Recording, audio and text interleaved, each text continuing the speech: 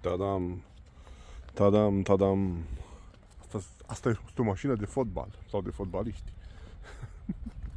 nu știam că există o echipare de genul ăsta la Ford sau cred că a fost o ediție, nu o echipare. Că, um, noi românii care suntem consumatori de Ford și care le îndrăgim, ne placă lea ghia. Dar ne mulțumim și cu ce altceva găsim, sincer. Iar Focusul, fie că e prima generație, care a ruginit săraca de tot, a doua, în care n-am prea avut loc, și aceasta a treia, care însă a schimbat un pic uh, viziunea asupra lui Focus, pentru că este focusul mondial acum, nu mai este doar dedicat pieței europene,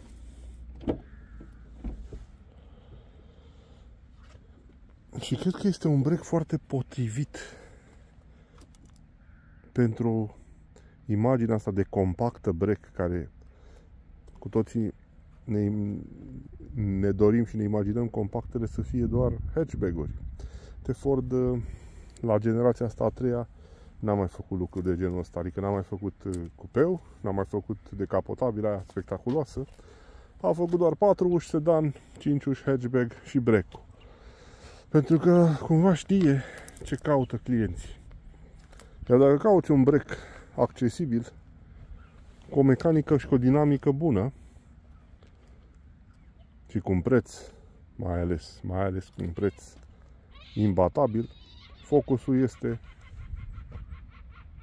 focusul este, dar ăștia sunt pescăruși pe aici, pe sus ce se aude. Iar eu sunt la Craiova. Focusul este o alegere înțeleaptă își bate adversarii prin prețul de achiziție, atât prin prețul de nou, cât și prin prețul la mâna a doua.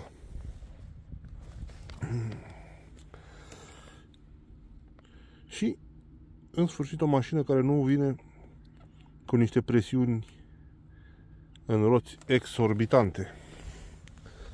Bineînțeles, cel mai puternic motor pe generația asta a fost acel 2.3 montat pe esteu Așa. Și aici cum procedăm? Ia să vedem. Tuc, tuc. La mâna stângă. Parcă pe aici pe undeva era o, o clapaceacă de Asta este. Gata. Iar la motor sau sub capotă avem o bestie. O bestie de o cilindre impresionantă și de o putere fulminantă, dar care cred că își va face un pic treaba. Să o vedem în mers. Bine, e o mașină care are și foarte puțin kilometri. Până în 100 de mii. E foarte întreținută și îngrijită. Iar așa, kilometri arată binișor. Să vedem însă cum, uh, cum merge. Motorul în 3 cilindri de 1.0 a venit în două variante de putere, de 100 de cai și de 125. Astăzi, asta, astăzi o avem pe cea de 125, însă ambele au același cuplu. Am mai filmat uh, multe focusuri din astea și toate mi-au plăcut cum merg. Cred că cel mai plăcut la mers a fost, bine, nu, nu vorbim de variante de top, de ST și așa mai departe, a fost cel de 1.6. Cel la un motor oarecum controversat. Da, în ciuda problemelor și renumelui și chestii astea, uite, oamenii își fac treaba cu ele, sunt răspândite, sunt folosite, sunt utilizate, încărcate, cărate și așa mai departe. Pentru că ce te interesează la o astfel de mașină? Să nu dai bani mulți pe ea și să ai spațiu de încărcare. Dacă ai și roată de rezervă, chiar e tare.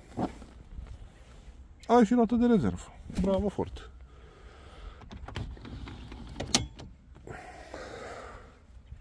Să un pic spartan în plasticuri și în finisaje, dar din nou, preț de achiziție foarte bun. o, chestie, o serie de dotări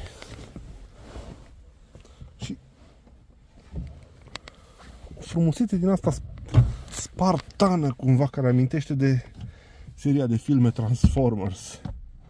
Chiar dacă Bumblebee e un Chevrolet. Mă rog.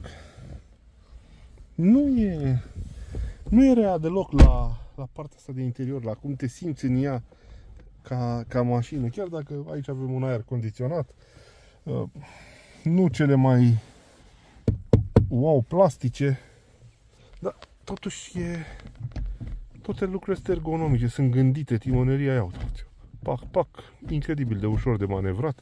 Pe aici n-ai cum să nu înțelegi ce face fiecare buton. Odorizanții de Omax cu produsul lor top Decebal pe care eu îi folosesc de foarte multă vreme și pe care vi promovez și uh, vă îi puteți achiziționa de pe site-ul de Omax, de prin benzinării, de prin supermarketuri. Au un, uh, au un ceva al lor. Sunt uh, un produs reușit, românesc. Atenție, este o firmă românească. Da, să ne întoarcem la Fordul ăsta, care e și el românesc într-un fel, bine, mai mult orcesc, sau cum o fi el ăsta de se face la noi. Uh, motoarele de, de 1.0 uh, se fac în Germania la Colonie și la Craiova. Evident, uh, Focusul e o mașină răspândită care, sau despre care se zvonește că din 2025 nu se mai face, la, nu se va mai fabrica la fel ca alte multe modele pe care producătorii aleg să le, la care producătorii aleg să renunțe sau să le înlocuiască. Nu știu, cred că am impresia că cândva la 20-30 de ani sau cam, la, cam asta e un ciclu, la un 30 de ani așa, lumea auto se reînnoiește ca modele, ca design, ca clasele se redefinesc un pic. Dacă cu 30 de ani Ford făcea uh, Scorpio, o berlină de clasă mare, astăzi din Mondeo nu mai face. Mă rog, mă bucur totuși că fac parte dintr-o generație care le-a prins pe toate. Cumva. În rest, de ale Fordului pe aici. Se vede că și ei sunt într-un um,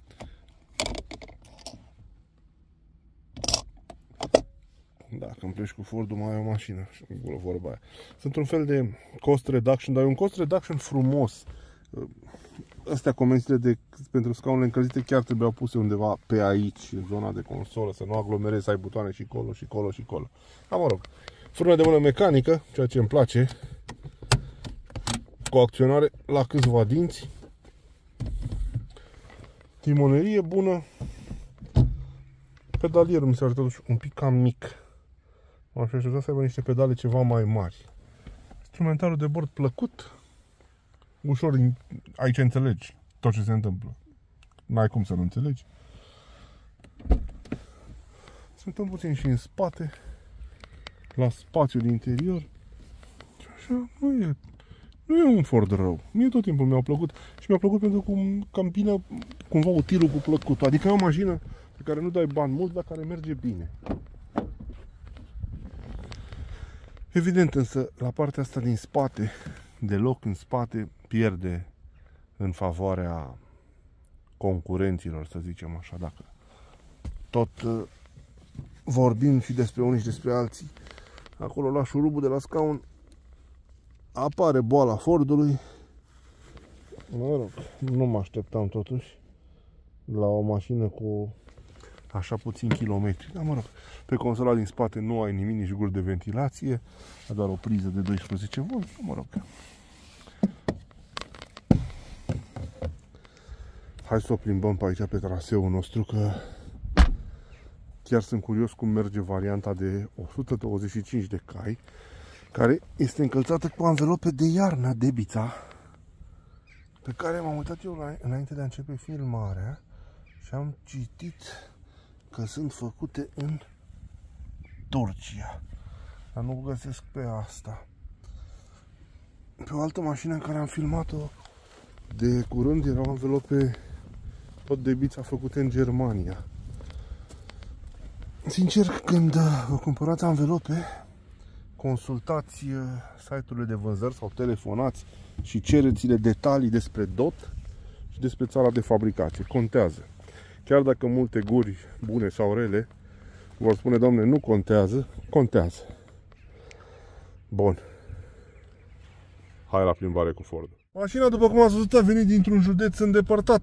Un județ care mie personal îmi place și pe care sper să-l revăd cu drag la vară împreună cu domnul Păun și cu băieții din Dobrogea. Să vedem podul ce mai face, cum se prezintă. Sper să nu-l închidă până atunci, că ar fi culmea. Dar ia uitați-vă ce cifre ne arată în bord această mașină cu acest motor. Uh, impresionante. Și impresionantă distanța care o mai faci cu combustibilul din, uh, din ea. Media e chiar wow. Însă eu o să-l resetez și o să-l uh, și o să ne plimbăm pe aici, pe traseul nostru. Să vedem eu ce performanțe scot din uh, din acest uh, agregat. Bun, dăm camera unui cameraman simpatic care ne asistă din dreapta și ne punem în mișcare. Uh, mi-am coborât scaunul o idee mai jos pentru că era ridicat puțin. Și stai bine în, în ea, stai ca într-o compactă. Însă e un pic mică în partea de jos pentru cineva de de statura mea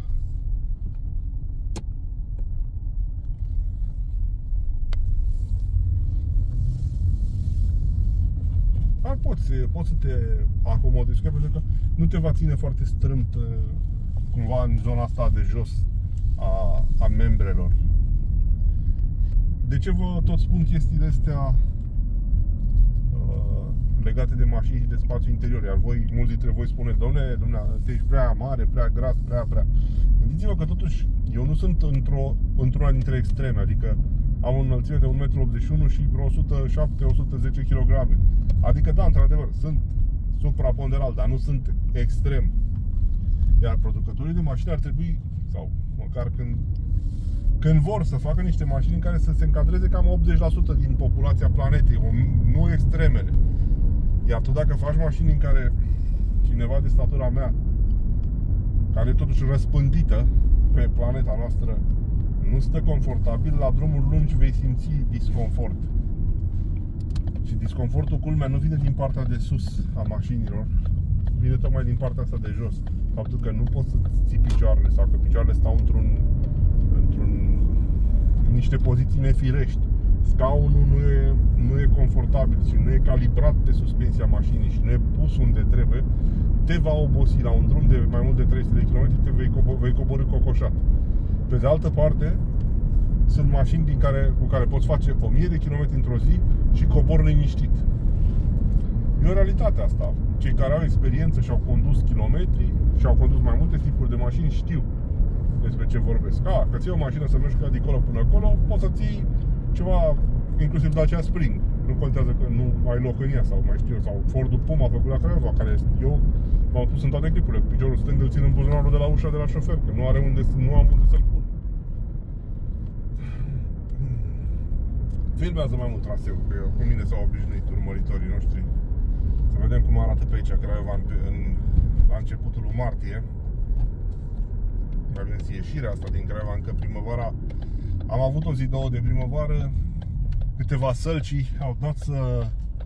Uite, laguna în culoarea mea, dar că e cu patru uși. Câteva sălci au dat să schimbe culoarea, dar temperaturile au scăzut iarăși. Au avut 5 grade, 6 grade.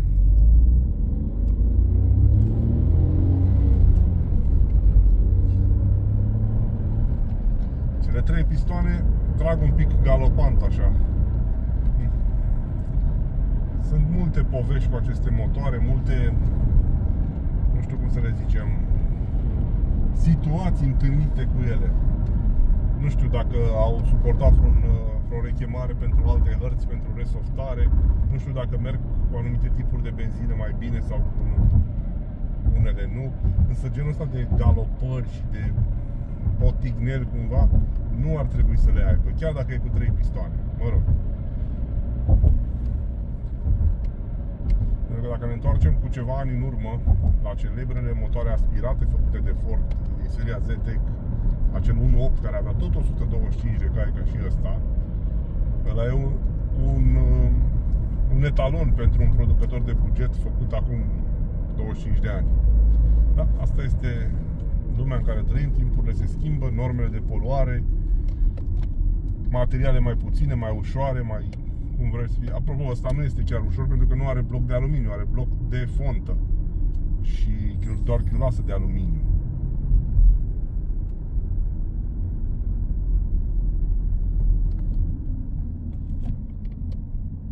Domnul cu pasatul ce trage? A, o remorcă.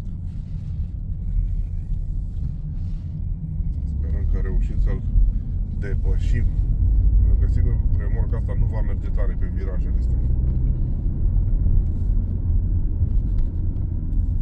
Ce aș vrea să încerc și focusul break Să-l vedem cum se așează pe aici. Mm, Dar o să așteptăm puțin. Stăm 20 de secunde să se îndepărteze dânsul. Așteptăm aici la școală, poate prindem foc prin bucatoare ceva. Tăiem bucata asta în lumea Da, avem și start în stop, mă scuzați Auto hold-ul senzorii de parcare. Foarte interesantă echiparea mașinii astea, fără climatizare, cu computer de bord. Bine, asta așa că e display-ul monocrom, mai există unul mai sus, dar uh, cu toate chestiile celelalte pe aici.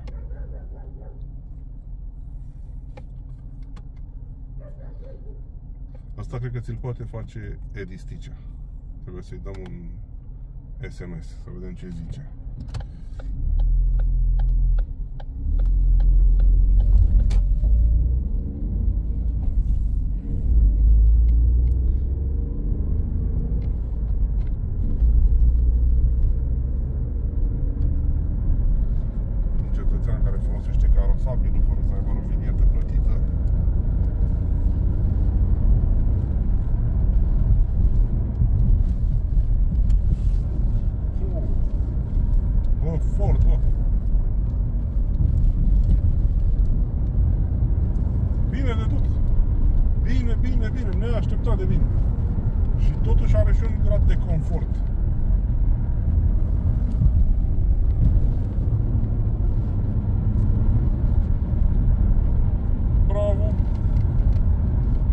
consacrat și a făcut uh, să fie un nume al lumii auto, e încă prezent și pe această generație.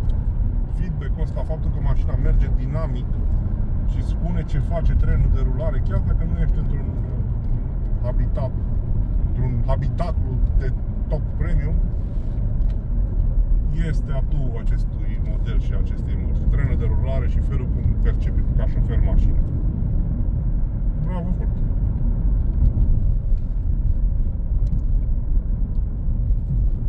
E un pic zgomotoasă așa și se simte clasa din care face parte și clar nu e un, o, o mașină foarte bine insonorizată, foarte bine izolată fonic, dar din nou, raportată la câți bani costă, e o alegere corectă, e un raport corect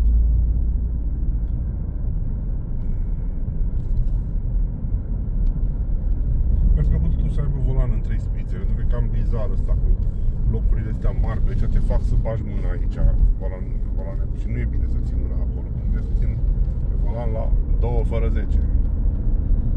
E 2 fără 30.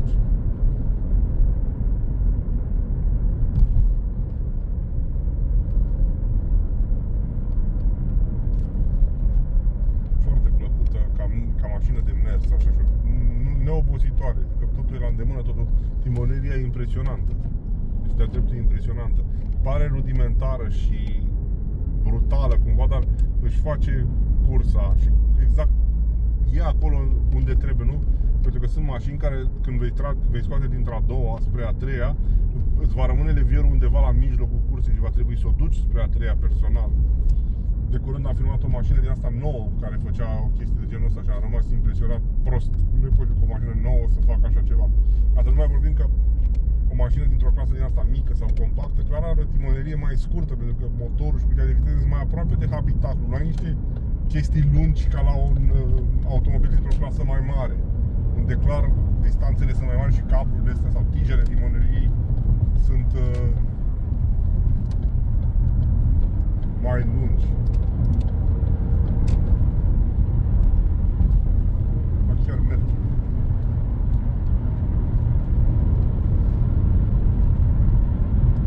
Merge bine, bine, bine, bine.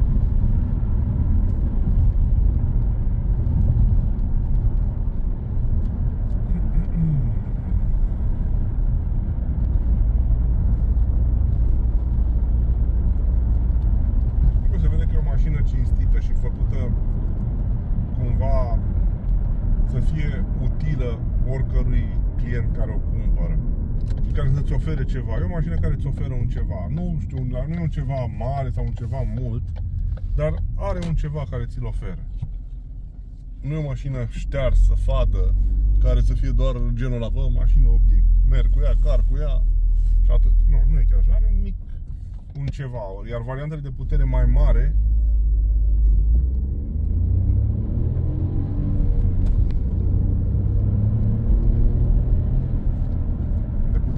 sunt mai plăcute cumva.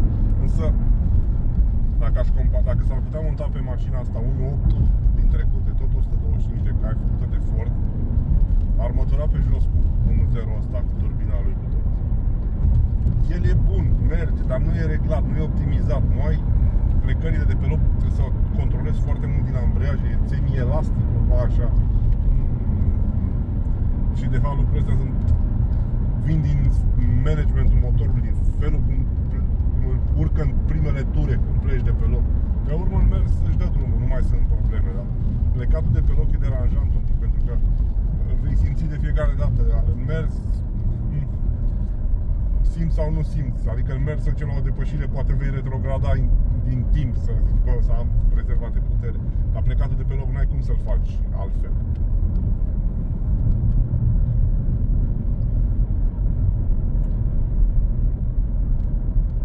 Dar pe total nu e o mașină rea. Sunt curios pe, pe serpentine cum se prezintă și cum vor merge anvelopele astea. Și la viteză pe drum în afară, la viteza de 100, cum se aude. Pentru că uh, ai un, un zgomot din ăsta de rulaj care îl percepi. Care cred că e o combinație de zgomot de vânt cu zgomot de roți. Îl aud cumva din lateralul mașinii, deci nu-l aud de jos, de la roți, nu-l aud de sus, de la ușă, zicem că ar fi un zgomot uh, de vânt. E efectiv prezent așa în lateralele mașinii.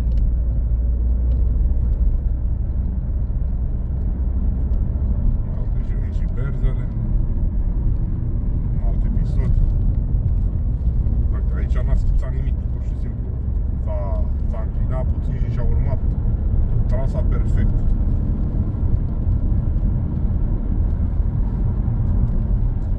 bucata asta de, de drum, bucățile astea de drum pe care le filmăm noi și facem călătorile, test drive-urile sau plimbările astea sunt foarte definitorii pentru adică pe un astfel de drum toate mașinile spun cum sunt făcute și ce au. Pentru că ai un sector care cum e asta, urcușuri, coborâșuri și viraje și care nu e în cea mai bună stare. Ai asfaltul vălurit, vedeți? Și ai solicită mult uh, suspensia și felul în care mașina lucrează. Uh, în continuare ai această urcare cu viraje nestrânse, dar cu asfalt de calitate pe dealul Bucovăț, aici s-au desfășurat ani de zile probe de, de rally, de viteză pe traseu, viteză pe coastă, nu știu cum se numeau exact. Și o linie dreaptă, tot așa cu asfalt de calitate, unde se poate merge cu viteza legală, unde asculți mașina uh, și o simți în funcție de vântul lateral. Și sentimentul ăla cum se-ar descurca la un drum lung? Voi traversați, veți cu ochii în telefon, nu vă interesează.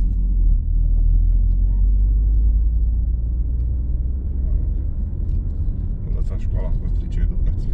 Aia e mai important.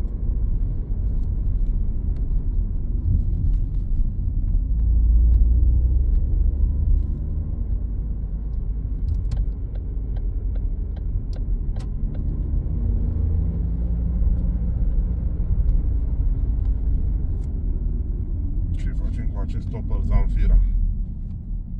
Nu trage, nu merge, nu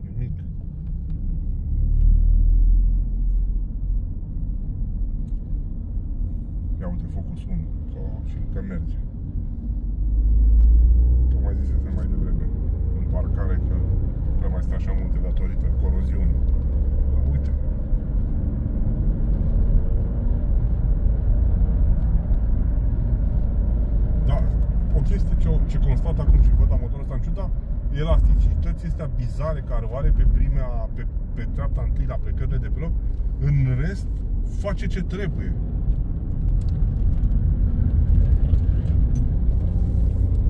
Iar uh, combinația de anvelope Debița, chiar dacă sunt făcute unde sunt făcute, și au, am văzut că din 2018, adică au și niște ani,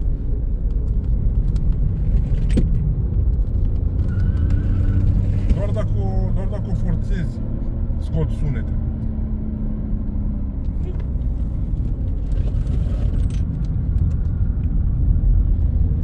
Clar, o ajută mult uh, geometria suspensiei, tipul de suspensie, cum e făcută mașina în sine. Pentru că asta e altă chestie care am constatat așa din experiența personală. Mașinile care au suspensie reglată cum trebuie, atât pe ruliu, atât pe tangaj, cât și pe elasticitate, se vor descurca și cu anvelope așa, așa, așa. O mașină care are un setup aiurea la suspensie, gen modele Opel, nu vă dau nume, dar știți voi care, te va penaliza rău dacă ai și anvelope proaste în mers cumva, adică nu, nu știu, nu se vor înțelege oarecum și te, te vor penaliza mai rău.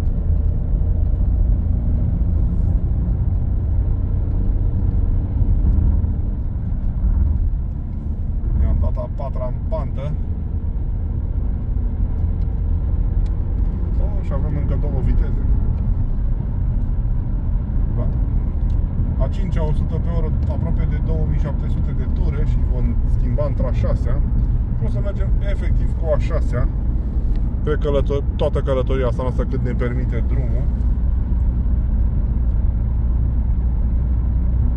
Destul de silențioasă, destul de silențios. Adică zgomotul ăla de rulaj e acolo, dar nu e deranjant. E doar să-ți spună, bă, mașina asta e în mișcare. E de așteptat să ai un astfel de zgomot la o mașină de buget. Până la urmă, Ford și modelul Focus nu e un etalon al silențiozității în mers, dar nu e, e mai, adică pentru câți bani costă, e un zgomot foarte ok.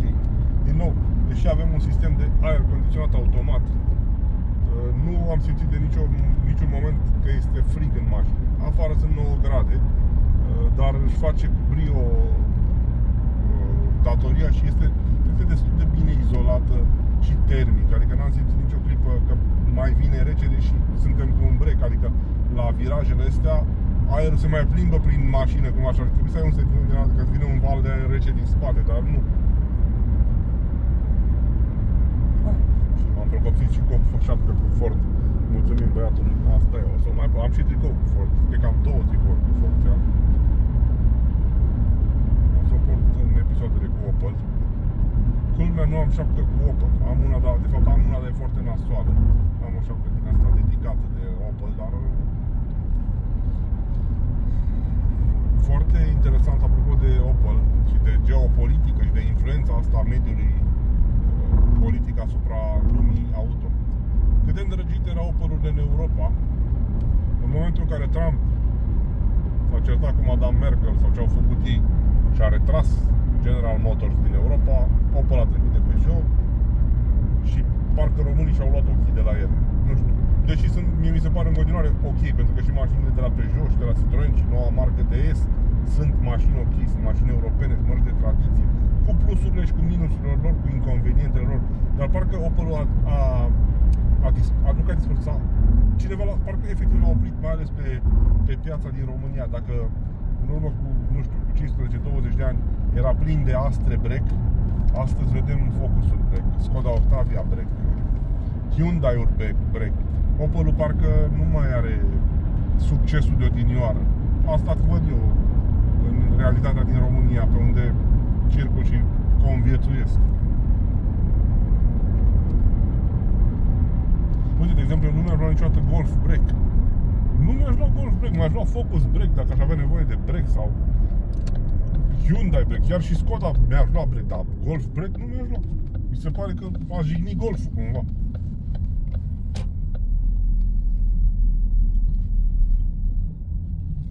Ia să facem o întoarcere cu Fordul. Da, din poziția asta. Clar, întoarce.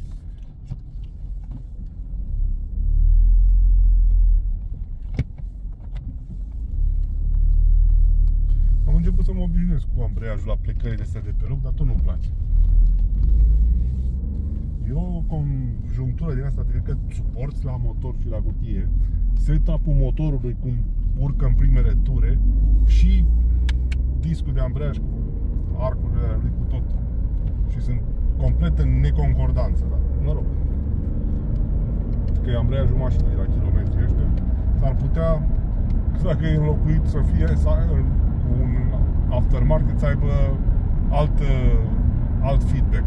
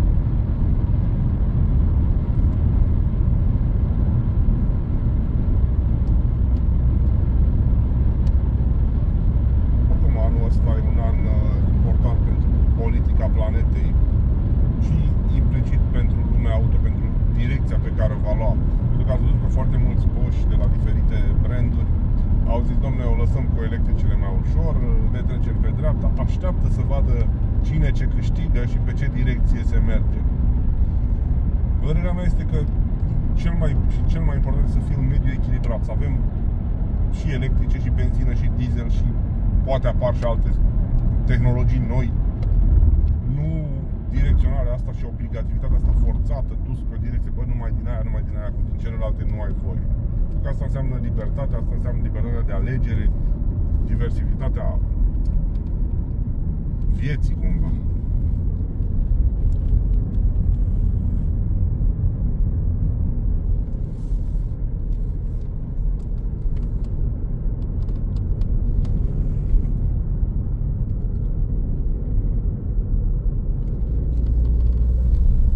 Sper măcar să, nu, să, să se facă ceva cu politicieni ăștia care au tăiat copaci așa.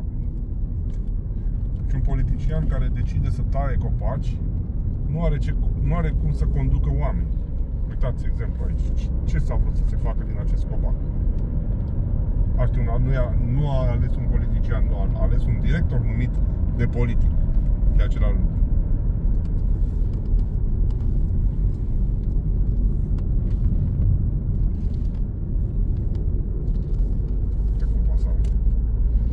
Care taie de tot și plantează alții dacă sunt bătrâni și sunt pericol pentru ca să rup și se prăbușesc. Dacă ne-am plimbat noi pe aici în tot felul de episoade sau pe aici, pe tot, uh, n-am văzut o creangă căzută și am mers și pe ploaie și pe zăpadă și pe furtună și pe orice. N-am văzut să zic, bă, da, bă, ne-a căzut un copac în fața mașinii.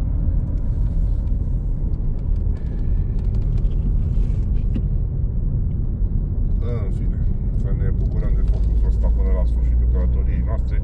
Chiar e o mașină bună.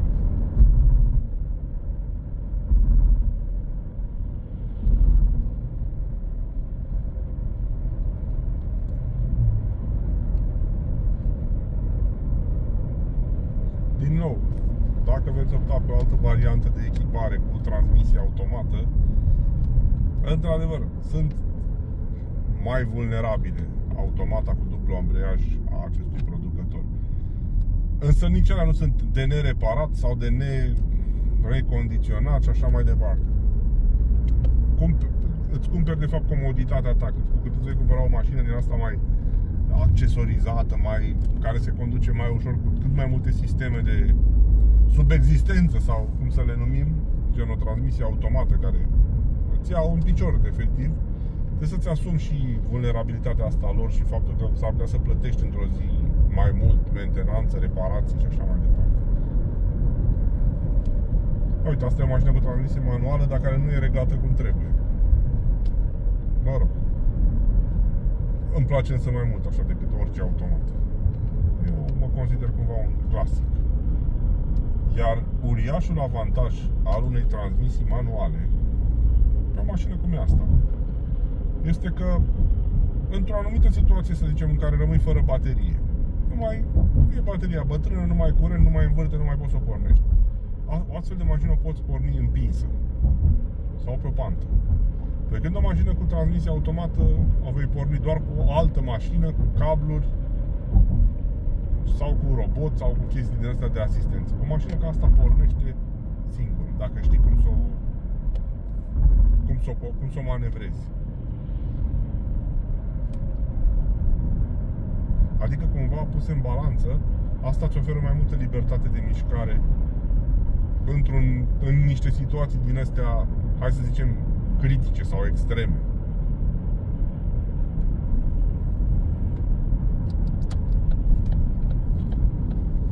Săriți cu cifrele de consum, dați și voi un like clipului, un clopoțel, un abonează, te chestii de care se fac pe YouTube tot timpul, zic să le spun la începutul episoadelor și de cele mai multe ori nu le spun deloc.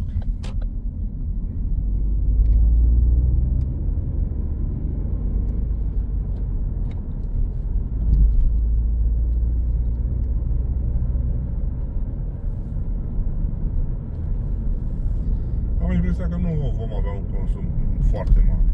Nu știu ce am așa, o impresia că 1.0 ăsta și cu aerodinamica și cu reglajele lui Ford, așa imperfecte cum sunt ele, vor scoate un consum bun.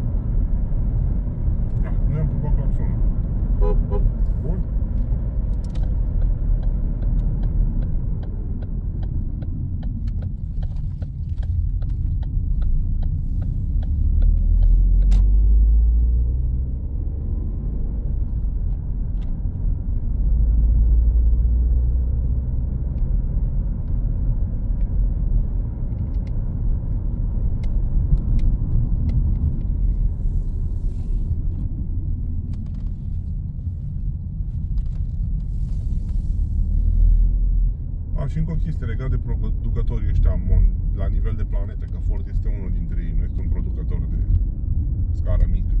Cred că Ford este producătorul care a trecut prin cele mai multe probleme, complicații, situații din astea de-a lungul timpului. Și culmea este și cel care și-a a reușit să meargă mai departe. Au avut multe failuri de-a lungul timpului, celebrele scandal, celebrul scandal cu Fordul Pinto uh, și Bronco din prezent și așa mai departe. Sunt multe uh, controverse, camionetele lor și așa mai departe. Dar totuși a reușit să, să se reabiliteze, cumva să meargă și să continue, să-și continue drumul. Ceea ce înseamnă că e ce trebuie. Opa, 6 cu 3 din partea lui Focus. Bine de tot, cu o viteză medie măricică a scăzut însă autonomia. Dar oricum, pentru cât, a, cât combustibil mai are rezervor, chiar e o autonomie bună. Asta a fost episodul cu mașina. Asta e o mașină interesantă, pentru, pe care eu vă recomand celor care mă întrebați de multe ori, domnule, vreau o mașină ieftină să-mi încep cariera automobilistică cu ea. E de cumpărat. Pentru că, exact ce v-am spus de, de câteva ori în episodul ăsta, preț de achiziție bun, preț de mentenanță bun, mu, uh, cunoscute și răspândite, cred că se găsește absolut orice pentru ele la orice oră și în orice zonă a României când ai nevoie. Așa că, bravo Ford! Ne vedem cu bine!